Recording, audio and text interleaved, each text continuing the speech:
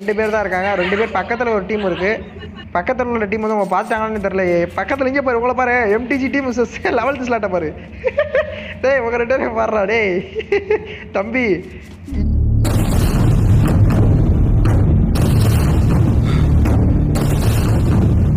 ஏங்க? மருதமுத்து ஆளுங்க நம்ம வீட்டை ரவுண்ட் அப் பண்ணிட்டாங்க.